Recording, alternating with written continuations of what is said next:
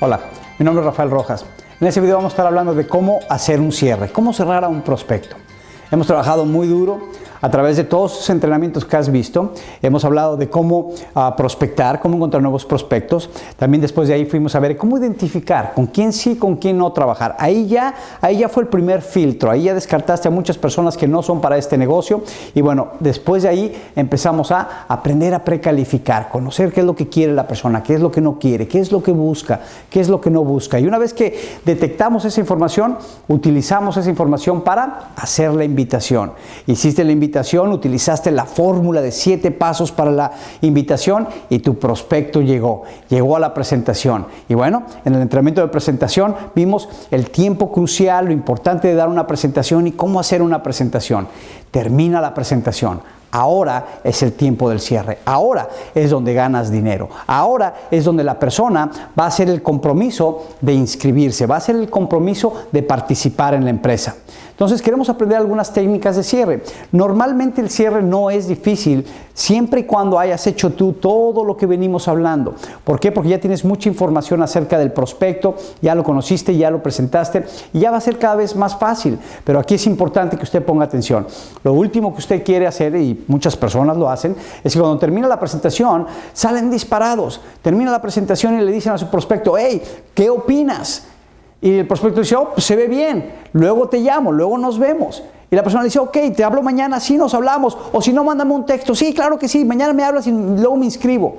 Y dejan a ir al prospecto. En otras palabras, no hicieron el cierre.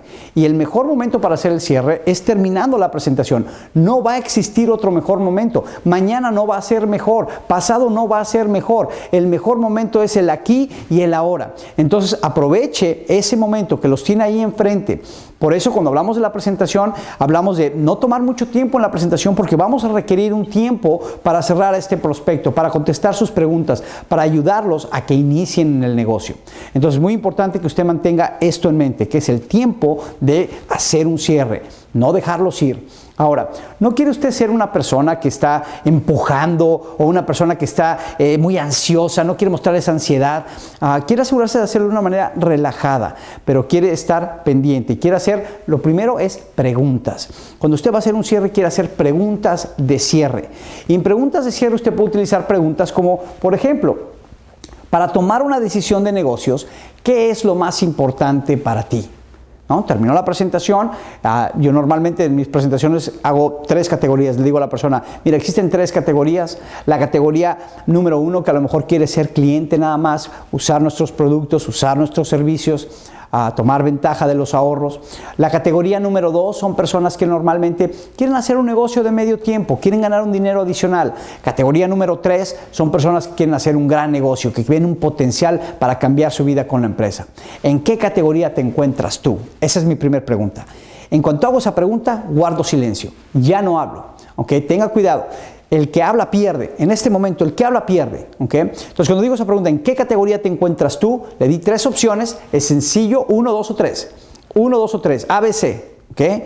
Y espero, espero que, y al principio cuando espera, cuando hace estas preguntas, a lo mejor para usted se le va a hacer una eternidad. Se va a sentir que, híjoles, no, no contesta, se va a poner usted nervioso, a decir, ay, a lo mejor está pensando, a lo mejor está evaluando, ay, igual me dice que no, y le va a dar a usted las ganas de hablar, ¿eh? le van a dar ganas de que, es que mira, te podría yo ayudar si comienzas, no, aguante, aguante vara, como decimos en México, espere a que conteste la persona, y la persona puede contestar uno, dos o tres. Si no contesta una de esas tres, ¿okay? entonces vamos a tener que aplicar algunas técnicas adicionales. Si no contesta ninguna de esas tres, y te dice, no, pues es que la verdad es que, es que no sé. Ahí haría yo esta pregunta. Para tomar una decisión de negocios, ¿qué es lo más importante para ti? Ahora, preste mucha atención a la contestación, mucha atención. Le puede contestar cosas como saber que es una empresa honesta, saber que tiene productos de calidad, uh, saber que no me van a estar presionando. Cualquier respuesta que dé, ponga mucha atención porque prácticamente el prospecto le está diciendo a usted lo que usted necesita decirle al prospecto para que el prospecto participe. ¿Me entendió? Fíjese cómo estamos planeando esto. Hago la pregunta, para tomar una decisión de negocios, ¿qué es lo más importante para ti? Le estoy diciendo, dime, en otras palabras, ¿qué necesito decirte para que veas la oportunidad de mi negocio. Entonces, espere la respuesta, analice la respuesta y dé solución a esa respuesta y ahí está el cierre. Así de sencillo es. Ahora, veamos algunos ejemplos. ¿Ha escuchado objeciones como lo quiero pensar y luego te llamo? ¿O lo quiero consultar con mi esposo? ¿O no quiero comprometerme a comprar cada mes? ¿No tengo dinero? ¿No quiero dar mi número de seguro social? O la típica, no tengo tiempo. Mire, en mi experiencia estas son las típicas. La mayor, el 90% de las preguntas o de las objeciones que dan al cierre están aquí contestadas. Entonces lo que vamos a hacer es enseñarle a usted cómo contestar cada una de ellas para que cuando llegue esta objeción, usted recuerde, en la fórmula de objeciones lo vimos, ¿verdad? Usted escucha la objeción con mucha atención, ¿verdad? Clarifica la objeción y después de ahí contesta. Entonces veamos algunas de estas objeciones un poquito más en profundidad. Por ejemplo, lo quiero pensar y luego te llamo. Ahí usted contesta, María, entiendo que lo quieres pensar. De lo que acabas de ver, existen dos áreas. Una, el área de los productos. Dos, el área del negocio. ¿Cuál de las dos no te quedó claro? Si le dice el producto, ahí lo que usted quiere hacer es explicarle del producto y hacerle otra pregunta. Recuerde, clarificar. ¿Qué parte de los productos no te quedó claro? Y, escuche la respuesta con mucha atención. Entonces digamos que la persona me dice, bueno, lo que no me quedó claro es, bueno, si el producto es tan bueno, ¿por qué entonces no lo venden en las tiendas? O algo así. Contestaría ahí la objeción. Si ya vi cuál es la objeción, clarifiqué la objeción y ahora viene mi respuesta. Le digo que Ah, los productos no los vas a encontrar en tiendas porque si los vendieran a través del sistema tradicional que se venden en tiendas, y tú sabes cuál es, está la fábrica, de la fábrica lo vende a la tienda, la tienda pone publicidad, el costo del producto se inflaría y no podrías obtener este producto al precio que lo estás obteniendo. Por eso, a través de este sistema en nuestro negocio, con personas como tú y como yo, que llevamos el producto directamente de la fábrica a las manos del cliente, podemos ahorrar en el costo del producto y poder poner mejores ingredientes hace al producto superior, pero encima darlo a un precio competitivo. Entonces, si ves cómo funciona esto, ahora, ya que te expliqué a esto, ¿cómo te ves comenzar? Categoría número uno, como cliente. Categoría número dos, un negocio medio tiempo. O categoría número tres, quieres hacer un gran negocio. Y guarda silencio otra vez. Entonces, quiero que me entienda bien cómo funciona esto. ¿okay? Usted hace la pregunta. Categoría 1, 2 o 3. Es la pregunta de cierre espera la respuesta. Si la respuesta no fue uno, dos o tres, entonces ahora viene la pregunta de clarificación. ¿okay? Y, si me salió con que, hey, es que no se lo tengo que pensar, ok, ¿pensar qué? ¿Cuál fue la parte que no te quedó clara? ¿El área de los productos o el área del negocio? ¿verdad? Y espero la respuesta. Cuando me dé la, eh, respuesta, qué es lo que no le quedó claro, entonces ahora nada más me enfoco ya en eso. En otras palabras, lo que estoy haciendo es haciendo un zoom, ¿verdad? Para llegar exactamente a la raíz de su objeción. Y una vez que llego a la raíz, desaparezco la raíz, contesto la pregunta, regreso otra vez a mi cierre, uno, dos o tres. Y esta operación la puedo hacer las veces que me hagan objeciones. Entonces veamos otra objeción. Digamos que le dice, lo quiero consultar con mi esposo. Yo le diría, María, quisiera preguntarte lo siguiente. Cuando vas al supermercado a comprar la despensa, ¿necesitas consultar con tu marido qué tipo de cereal comprar? Espera la respuesta y luego prosigues. Obviamente la respuesta te va a decir, no, no, yo no le tengo que hablar a mi marido para decirle qué cereal comprar. Entonces le diría ahí, ok, María, mira, al inscribirte, lo único que estás haciendo es probando una marca nueva. Mira, no estás comprando un carro o una casa. Se ve así de sencillo. ¿Qué tal si le dice, no quiero comprometerme a comprar cada mes?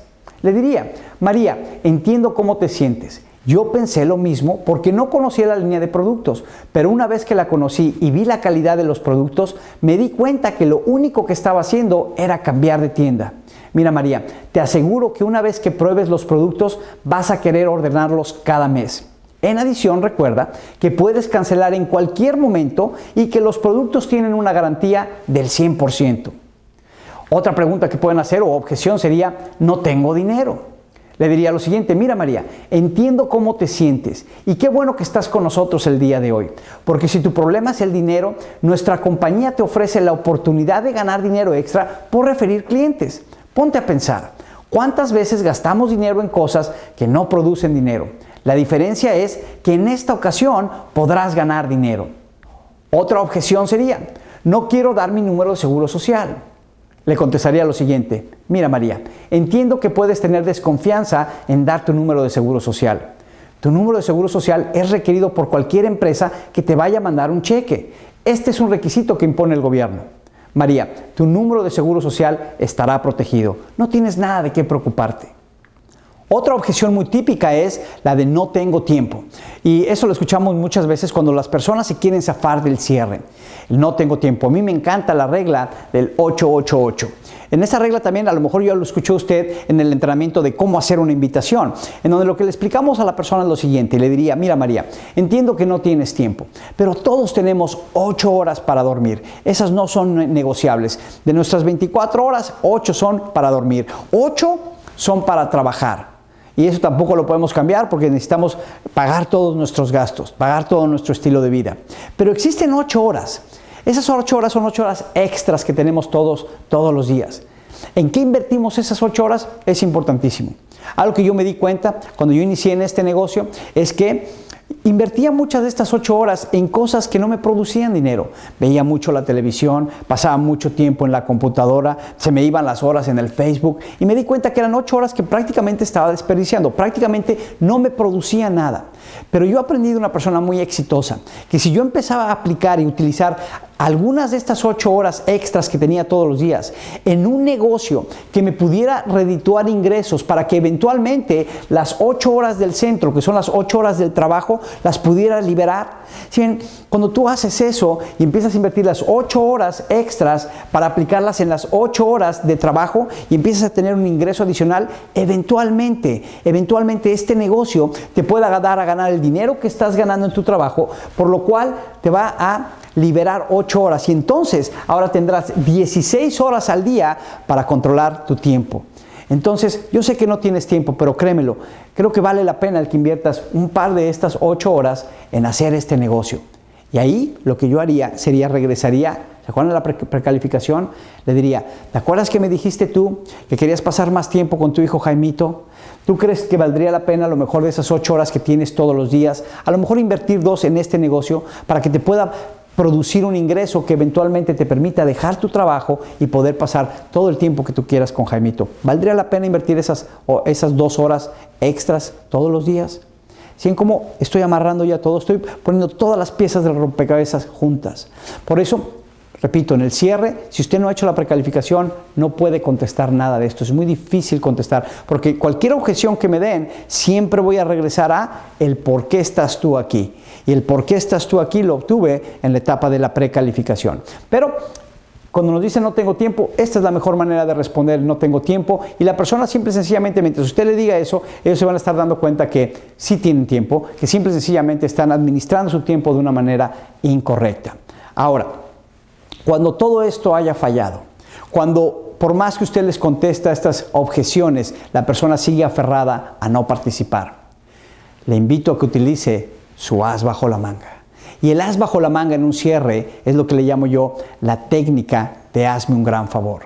Y la técnica de hazme un gran favor, prácticamente lo que le estoy diciendo al prospecto es que me eche la mano, que me ayude en mi negocio. Y quiero mostrarle exactamente las palabras que yo he utilizado muchas veces. María, necesito que me hagas un gran favor. Espere igual de silencio. Normalmente la persona piensa, uy, me va a pedir dinero, pero aquí les va a decir lo siguiente. Necesito que por un momento pongamos a la empresa a un lado. María, necesito que te conviertas en mi cliente, porque quiero avanzar en mi negocio y necesito que seas mi cliente. No tienes nada que perder y lo más importante, me vas a ayudar a mí. María, si tú estuvieras abriendo un negocio y necesitaras de mi ayuda, yo sería el primero en ayudarte, porque para eso son los amigos. María, ¿podrías ayudarme, por favor? con esta técnica, cuando utilice el, hazme un favor, ya la empresa queda secundaria, ya es algo personal, ya es entre tú y ellos. Y si son tus amigos, familiares, conocidos, muchas veces hacemos más por ayudar a alguien que por comprarle a alguien. Entonces, Pida favores, hágales ver, mira, acabo de iniciar, échame la mano, necesito un cliente, necesito que avanzar mi negocio. Si tú estuvieras abriendo tu propio negocio, créemelo que yo te ayudaría. Mira, si tú estuvieras abriendo una estética, yo sería cliente tuyo, yo me iría a cortar el pelo ahí porque si de todos modos me voy a cortar el pelo, ¿por qué no me lo cortaría con una amiga que tiene una estética y ayudarte un negocio? Es lo mismo que te pido a ti. Yo tengo estos productos, tengo esta tienda, quiero que tú compres en mi tienda, que seas mi cliente. Mira, no tienes nada que perder, todo que ganar, pero lo más importante, me vas a ayudar a mí. Hazme ese gran favor. Y cuando haces eso es bien difícil porque ya les estás llegando al corazón. Ya cuando les llegas al corazón para ellos va a ser muy difícil el decirte, ¿sabes qué? No te quiero ayudar. Y la mayor parte de las veces la persona va a decir, ¿sabes qué? Tienes razón, te voy a echar la mano, te voy a ayudar. Y es precisamente lo que usted quiere hacer. Ahora, una vez que usted inscribe a alguien en el negocio, ya sabe que tenemos dos tipos de personas. Tenemos personas que nada más van a ser clientes, nada más van a consumir, y si ese es el caso, bueno, ahí terminó el cierre. Ya la persona va a ser cliente, le vamos a dar un seguimiento como cliente y hasta ahí. Pero tenemos personas que quieren desarrollar el negocio, que se están eh, eh, metiendo en el negocio como promotores, quieren promover la empresa, los productos, los servicios, quieren ganar dinero también. Entonces veamos algunos puntos con las promotores, con la gente de negocios. Bueno, con estas personas, ¿cómo los podemos ayudar? Porque usted los tiene que ayudar. Cuando la persona le está diciendo, ¿sabes qué? Soy categoría 2 o soy categoría 3, quiero hacer el negocio. Esa persona le está diciendo, ayúdame, échame la mano. El gran error es que muchas veces inscribimos a la persona y nos olvidamos de ellos. Ya estamos contentos, ya inscribimos a la persona, ya tengo una nueva persona. No. Si la persona decidió hacer el negocio, ahora se están agarrando de las manos y van a trabajar juntos. ¿Por qué? Porque mire, las personas que matricule como negociantes son sus boletos para avanzar su negocio. El boleto para avanzar, su negocio es esa nueva persona. Entonces ahora están unidos. Comience a trabajar con ellos inmediatamente. Inmediatamente. que no se pasen los días, que no se pasen las semanas. La persona es como un cerillo. Tiene un tiempo de vida. Si no lo utiliza en el momento que está prendido, ¿verdad? Se va a apagar. Y ya una vez que se apague va a ser muy difícil tratar de revivir otra vez a la persona. Ah, organice presentaciones con ellos. Voy a hacer, sacar mi calendario, voy a empezar a organizar algunas presentaciones, ya sea de uno en uno, ya sea en casa, ya sea vía internet, ya sea en un hotel, en una oficina, como sea, pero queremos empezar a organizar presentaciones lo más rápido posible. Enséñeles a hacer su lista. Ellos no saben, ellos son bebés en este negocio, ellos todavía no saben caminar, tienen que aprender de usted. Entonces, enséñele a hacer su lista, siéntese con ellos, invierta tiempo en esa lista, porque ¿de dónde van a salir los contactos? ¿De dónde va a salir el cheque de esa persona? Su primer cheque va a salir de su lista. Entonces, cuando usted está haciendo la lista con ellos, prácticamente lo que está haciendo es está construyendo el primer cheque de ellos. Y créame, el cheque de ellos es muy importante. Si usted se preocupa más en los cheques de sus personas, usted no se va a preocupar de su cheque. Enséñeles a hacer citas. Las citas, ya sabemos, es el talón de Aquiles. Si estas personas no están capacitadas, inician el negocio y muchos de ellos después de la presentación se acaban de inscribir, ya están haciendo llamadas, ya están entusiasmados, ya quieren hablar con medio mundo. Lo que yo siempre les digo es, no quiero que hables con nadie todavía. Hasta que no te enseñe yo en cómo hacer una cita, no quiero que hables con nadie de tu lista. Si empiezas a llamar a la gente de tu lista, vas a echar a perder personas y luego no quiero que me culpes a mí si no te funciona el negocio. Entonces yo soy muy claro en eso. No quiero que empieces a hacer citas hasta que no hayamos hecho el entrenamiento y te haya enseñado en cómo hacer una cita. Enséñales a hacer el cierre de hazme un gran favor. Si ellos todavía no son expertos en esto, a lo mejor no van a poder contestar todas las objeciones de cierre, al igual que usted que ya se está entrenando. Por eso empiezo por enseñarles hazme un gran favor. Esa técnica es sencilla. Lo que les digo a ellos, mira, lo que vamos a hacer es con tus prospectos cuando hagamos una presentación es que pidas favores que les hagas ver que sabes que acabo de iniciar mi negocio, necesito que me hagas un gran favor, necesito que te hagas mi cliente, necesito que no, que participes, que me ayudes. Mira, si tú iniciaras tu propio negocio, yo te estaría ayudando a ti, yo sería tu primer cliente. De la misma manera te pido que me ayudes. Entonces, esa técnica es importante que usted invierta tiempo en enseñarle a sus personas cómo utilizar la técnica de hazme un gran favor. Muestra el potencial de ingresos. Yo siempre les doy formas eh, con una explicación del plan de compensación. a veces me canso de repetirle a algunas personas de mi organización que lo hagan. Dan presentaciones y asumen que la gente se va a acordar de todo. No, yo a mi persona siempre les voy a dar ejemplos del plan de compensación para que quede en su mente fresca, ¿verdad? Las ganancias que tiene, el por qué quiere tener 10 clientes, el por qué quiere llegar a la posición de director o la posición que sea. Quiero que sepan el por qué estamos haciendo esto y qué hay para para ellos. ¿Cuántas ganancias van a obtener? Y una persona que entra en el negocio lo que quiere saber. ¿Cuánto voy a ganar? ¿Qué es lo que tengo que hacer para ganar cuánto dinero? Entonces me aseguro de que ellos tengan uh, esa forma con el potencial de ingresos. Y lo más importante, los voy a conectar rápidamente a un sistema de entrenamiento. Y para eso tenemos este sistema de entrenamiento, en donde usted ha visto que tenemos toda una serie de entrenamientos para ahorrarle tiempo a usted, para que usted no tenga que pasar tiempo en quererle invitar eh, o enseñar en cómo hacer una invitación o enseñar en cómo hacer una precalificación. En lugar de que usted pase una hora tratando de explicarle, para eso está este sistema de entrenamiento, estos videos donde ellos pueden aprender directamente mientras usted está haciendo otras cosas. Pero es importante que los conecte al sistema de entrenamiento y ellos puedan saber dónde pueden obtener todo el entrenamiento y toda la información que ellos necesitan. No tenga miedo en pedir que se comprometan. Mire, las personas quieren hacer un cambio en su vida y muchas veces uno tiene miedo. Nos entra ese miedo de pedir que hagan un compromiso económico.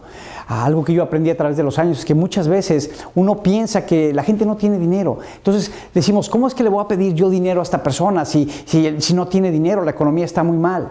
Y eso me recuerda hace muchos, muchos años, cuando yo recién iniciaba. Yo tenía mucho miedo en hacer cierres.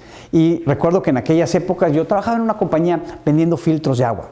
Y eh, recuerdo que me daba mucho miedo vender el filtro y una de las técnicas que usaba era llegar y conectar el filtro, eran unos filtros pequeños que se conectaban en el lavabo y dejamos que el cliente lo probara por una semana para que viera la diferencia, que viera el ahorro y regresábamos a la semana y si el cliente lo quería lo compraba y si no recogíamos el, filtro. Pero a mí me daba miedo hacer, hacer eso, yo era muy nuevo, no sabía eh, eh, cómo hacer un cierre. Y recuerdo en una ocasión, ah, fui a ver a una persona que yo conocía, eh, y no era porque fuera mi amigo ni nada por el estilo, era porque él era el dueño de una bodega en donde yo trabajaba, donde yo descargaba camiones. Y el señor era un, mexicano muy exitoso allá en San Diego, California. Y él vivía en una isla que se llama Coronado. Y en una ocasión dije, ok, voy a ir a venderle un filtro. Y iba yo muy nervioso. Y llegué yo ahí, llegué a la casa, toqué la puerta y me, habló, me abrió la señora de la limpieza. Y le pregunté si estaba el señor Gregorio. Y me dijo, no, no está, salieron de vacaciones. En ese momento sentí como que una paz dentro. Le dije, ay, qué bueno que no están. Le dije, oiga, mire, es que vengo a instalarle un filtro que eh, quiero que vea el señor Gregorio. Me tomo un par de minutos. Y la señora me dijo, ah, ok, pásale. Entré en la casa, conecté el filtro, le dije, ok, ahí se lo voy a dejar, luego regreso. Bien, me fui de ahí y Pasó como una semana y recordaba que tenía el filtro, pero por mi miedo a ir a cerrar al prospecto, uh, dejé que pasara otra semana. Y me hacía eh, guaje, me hacía loco. Uh, se, ah, luego voy, ah, hoy no tengo tiempo, ah, hoy no tengo gasolina, oh, hoy tengo una junta, oh, hoy tengo una presentación. Y pasaron dos semanas y tres semanas y un mes y tres meses y pasaron seis meses. Y el filtro ahí seguía. Y yo sabía que ahí prácticamente tenía dinero, que estaba sentado.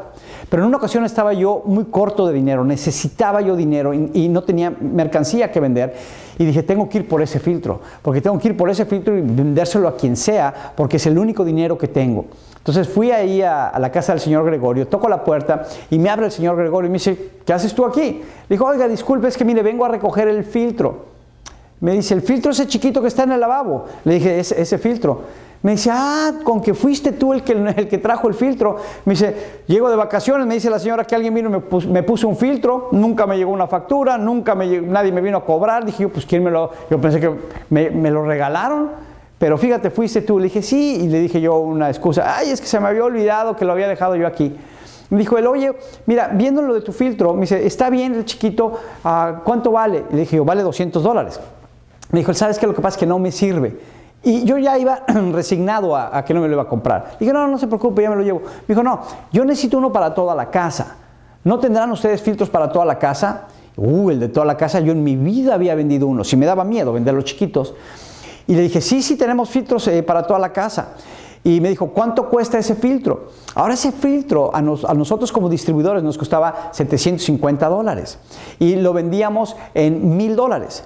Pero yo en el momento, como vi que estaba interesado, le dije, ah, pues vale 1500. Me dijo él, ah, perfecto, ¿me podrías traer uno? Le dije yo, claro que sí, ¿cuándo lo quiere? Me dice, ya mismo, tráemelo.